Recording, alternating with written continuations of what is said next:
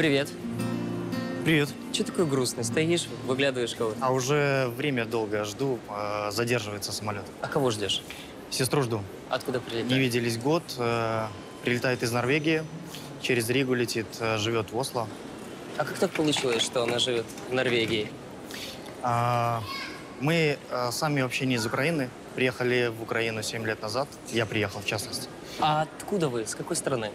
А, Из Беларуси, из Минска. Мы уехали из Минска одновременно. Я уехал в Украину, а она в то же время уехала в Норвегию. Как часто ты с ней видишься? С ней вижусь очень редко. А Вот сейчас я ее встречаю, я не виделся с ней а, около полутора лет. А, Я не знаю, может для кого-то это и на- и нормально, но как бы я считаю, что по при возможности необходимо встречаться больше, конечно. Но связь вы не потеряли. Нет, мы постоянно общаемся, чуть ли не каждый день. Ну а как ей там?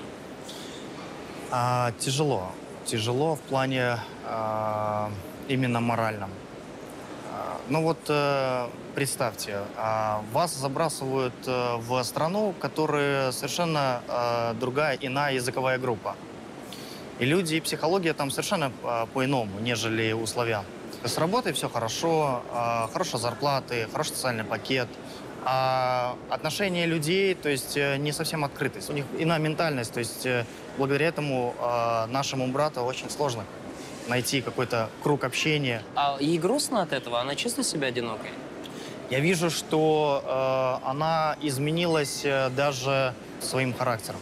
То есть сейчас я уже с ней общаюсь не как со славянкой, не как со своей сестрой, а как э, с человеком, который уже э, выходит из Европы.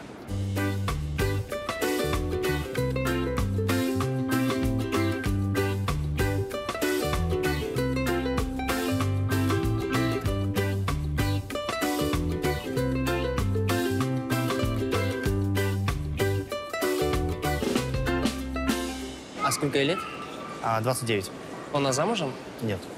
Есть у нее молодой человек? Да, она, есть у нее молодой человек. Я сам лично знаком и приезжали сюда в гости к нам. И с родителями э, знакомились, и мы все его знаем. Ну, то есть А это как тоже зовут его? интересно. Мартин. А как они давно вместе с парнем? А, два года. Два года общаются, живут уже вместе, то есть э, в этом плане. Но находить общий язык, опять-таки, момент касательно а, каких взаимоотношений финансовых. То есть э, там четко разграничивают молодой человек, вот э, он э, платит за себя, он живет самостоятельно, практи- а, а девушке своей он э, помогает, но скупо, скажем так. Поэтому это нормально. Как она к этому относится?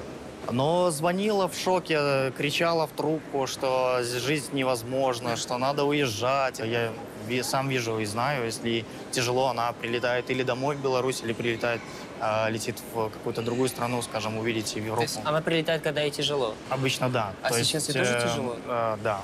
Они э, поругались, но я думаю, что все будет хорошо. Откуда ты узнал, что они поссорились? Мы общаемся каждый день. Но ей было тяжело, я понял, что хочется увидеть близкого человека, с ним поделиться. Поэтому я думаю, что она сделала правильно, и как бы я постараюсь сделать все, чтобы ей, э, поднять ей настроение. И Как ты собираешься отвлечь от этого грустного состояния? мы сегодня поедем, прыгнем с парашютом. Думаю, что это немножко разрядит обстановку. Она прыгала когда-нибудь с парашютом? Не-не-не, то есть э, я даже не знаю, на самом деле, как она отреагирует. Как ты думаешь, она испугается? Я думаю, да. И наоборот, этот впрыск адреналина ей поможет, и как бы мы э, почувствуем какое-то вот единение, что ли.